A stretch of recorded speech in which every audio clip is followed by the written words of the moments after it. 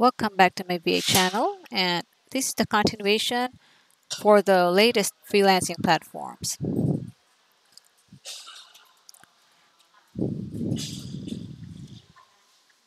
Please have your pen and paper ready so you can write them down.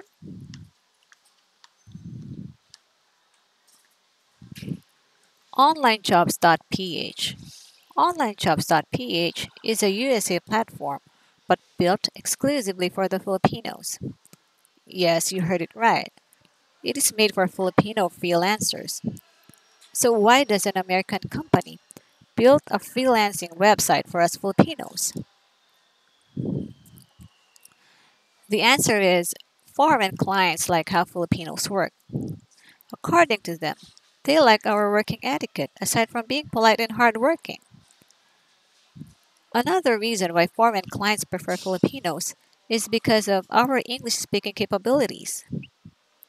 It's a huge advantage that English is the second language in the Philippines, and it is not that hard for us to communicate using the universal language.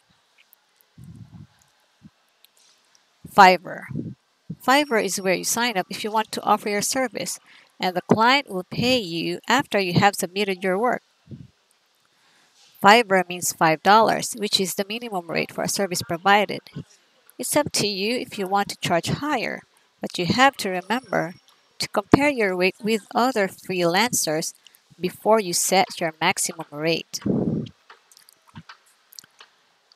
People per hour. Truelancer. FreeUp. Freelancer. GoLance. MyOutDesk. Rev. TopTal, Go Transcript, 199 Jobs, 99 Designs, Outsourcely, Hubstaff. How to sign up to these platforms. Different freelancing platforms have different sign up procedures. Some require IDs while some don't. But one thing is for sure these platforms will ask for your email address as part of the sign-up process. Take note. While submitting your ID, especially government identification cards with your birthday and complete name on it, don't forget to blur these sections as part of your personal security. Always put in mind that the internet is a virtual public place and you need to do things with caution. You may use your laptop's image editor in blurring these sections. What's next after I sign up? After signing up on your chosen freelancing platform, you may need to verify your email address by going to your email inbox. Once verified, you may need to wait for approval from the freelancing platform management. Once you get approved, you may now start applying to jobs. These jobs are often called projects. Projects can be short term or long term. What's the difference between short term and long term projects?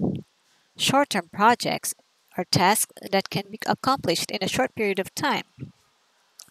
Short term projects can either be done in a week, month, or even two months. Once these short-term projects are done, you may need to apply for another job being posted on your news feeds. Long-term projects are tasks that are being done in a longer period of time, like for a year or even longer. Some freelancers last for up to 10 years with their clients. Is working with a client for 10 years even possible? The answer is a big yes. When you have shown your worth, and if you work with value to your client, they will continue to hire you. They will see you as an irreplaceable VA for their business. Love your work, and your work will love you too. How do I apply for projects? Projects are posted by clients and will be visible on your news feeds. You just need to click on that particular project and write a killer cover letter.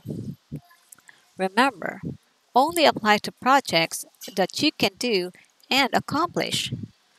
Clients will be expecting much from you, so never let them down. A killer cover letter serves as your first communication with your prospect client. This is where the client would base his judgment whether he will hire you or not. We will discuss how to write a killer cover letter on my next presentation. If you haven't subscribed to my channel yet, better click the subscribe button now so you will never miss all the informations. How would I know if I was chosen for the job? Once the job is being awarded to you, you will receive a notification on your dashboard and will receive an email as well. Some freelancing platforms have contracts as a proof that the work is being offered to you and being accepted by you. Some platforms don't have this feature. Your client may set an interview with you and discuss the work and how it needs to be done. You should pay 100% attention to every instructions from your client. Failing to do so may put your work at risk. Never hesitate to ask questions in case some things are not clear with you. That would be all for now. You can start signing up to these platforms as some approvals may take time. Remember to blur important sections before submitting your ID. If you feel you are now confident in applying to jobs, please do so. But if you think you still need advice to save you from rejections and declines from clients, then my next presentation is for you. Stay tuned. I am in the process of creating an impressive profile and a killer cover letter that makes you win the job 99% of the time. I will show you my very own profile so you will have an idea. Bye for now.